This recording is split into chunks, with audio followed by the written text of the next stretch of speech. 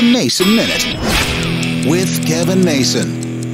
Back in 2019, measles were on the rise. There was concern we we're going to have another major outbreak. But of course, COVID changed everything. Now, five years later, measles are back 58 cases in America so far, and even more cases in countries like the Philippines, Romania, and United Kingdom. Doctors are saying if you're going to international travel, everybody in your party needs to make sure they have their measles vaccines. Now, if you were like me, had your first vaccine at right around one, one and a half, and then your second between the ages of four and six, you're good for life. But if you haven't had the two vaccinations, no matter how old you are, you may need that booster. And for children, definitely need to have two before they travel worldwide. Thanks to people and their fear of vaccines these days, some are slipping up just a bit. And once measles catches, again, it catches quickly and spreads rapidly. If you've had your two vaccines, you're good to go. You don't have to worry about boosters. I'm thankful I've got my two vaccinations because, boy, I don't even want to think about how painful measles would be at my age.